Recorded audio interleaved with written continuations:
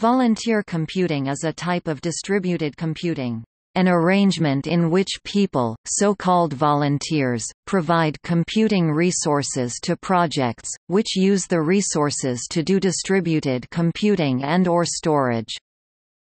Thus, computer owners or users donate their computing resources such as processing power and storage to one or more projects.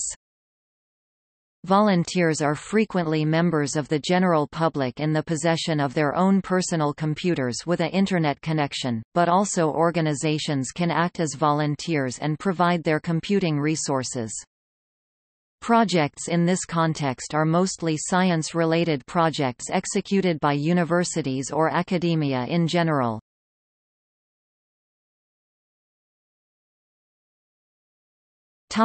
History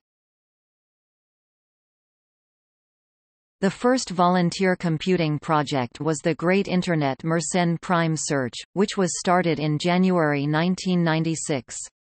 It was followed in 1997 by Distributed.net.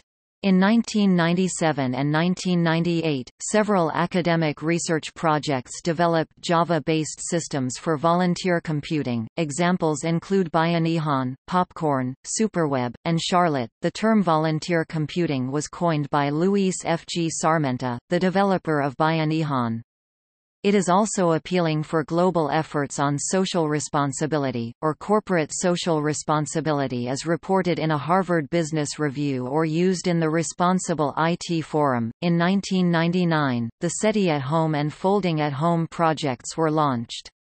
These projects received considerable media coverage, and each one attracted several hundred thousand volunteers.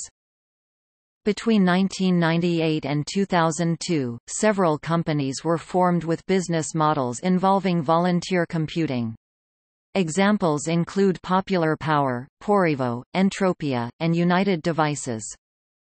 In 2002, the Berkeley Open Infrastructure for Network Computing project was founded at University of California, Berkeley Space Sciences Laboratory, funded by the National Science Foundation.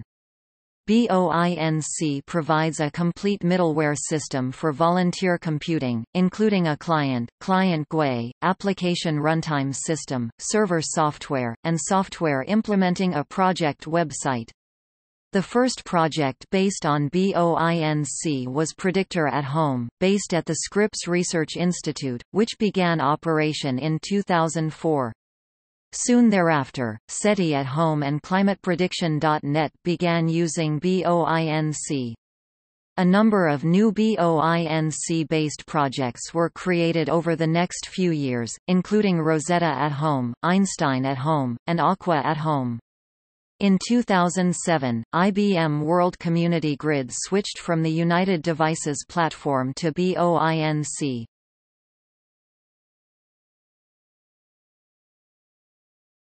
Topic: Middleware.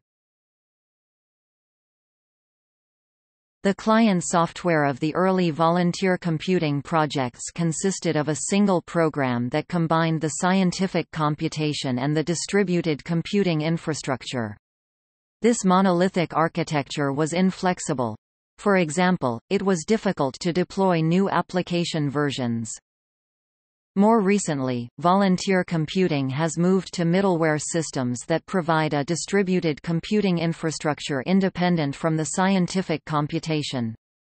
Examples include the Berkeley Open Infrastructure for Network Computing is the most widely used middleware system.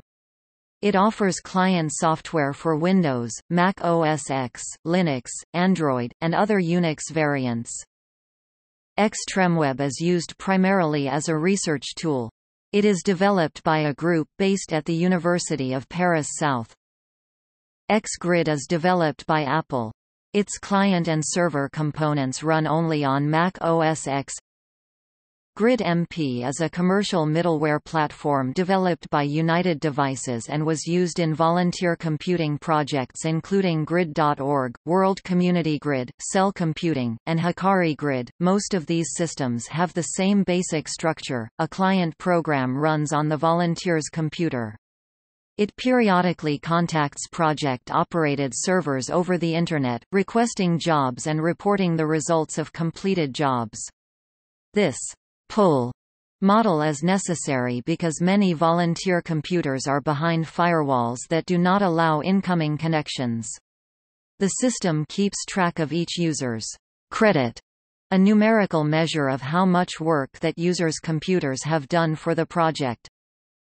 Volunteer computing systems must deal with several issues involving volunteered computers, their heterogeneity, their churn the tendency of individual computers to join and leave the network over time, their sporadic availability, and the need to not interfere with their performance during regular use. In addition, volunteer computing systems must deal with problems related to correctness. Volunteers are unaccountable and essentially anonymous. Some volunteer computers especially those that are overclocked occasionally malfunction and return incorrect results. Some volunteers intentionally return incorrect results or claim excessive credit for results. One common approach to these problems is replicated computing, in which each job is performed on at least two computers. The results and the corresponding credit are accepted only if they agree sufficiently.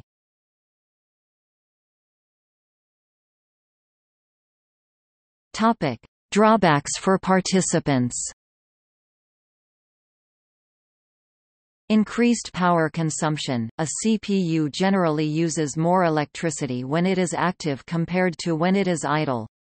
Additionally, the desire to participate may cause the volunteer to leave the PC on overnight or disable power-saving features like suspend.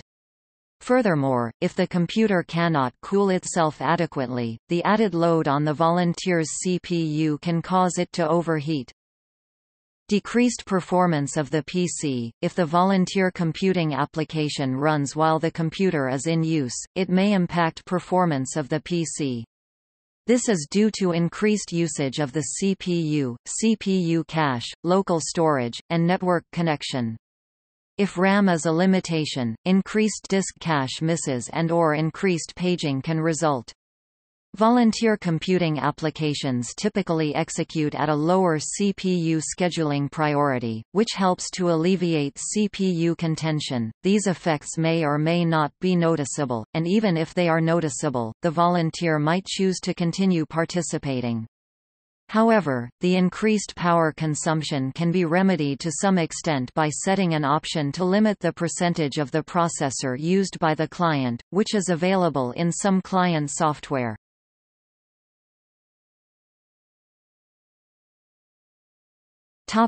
Benefits for participants.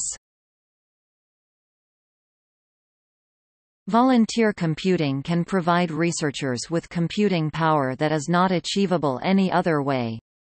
Approximately 10 petaflops of computing power are available from volunteer computing networks. Volunteer computing is often cheaper than other forms of distributed computing.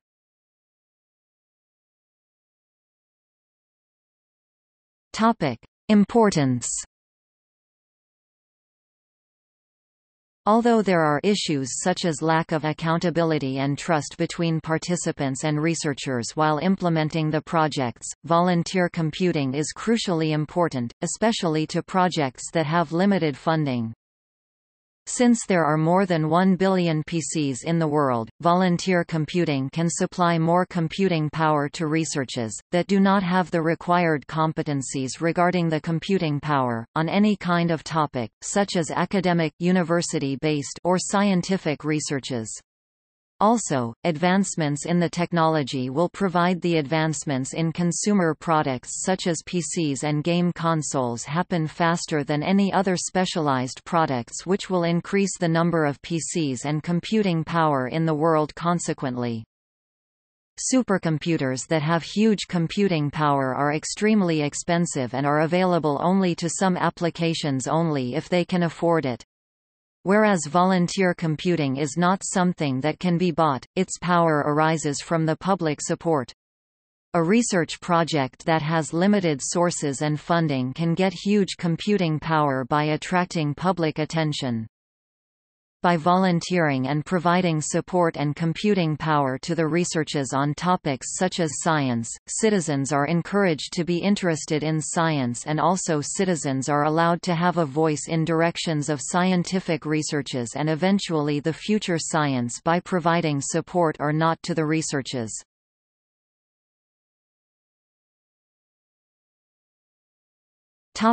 See also Citizen science Cloud computing List of distributed computing projects Peer-to-peer -peer. Swarm intelligence Virtual volunteering BOINC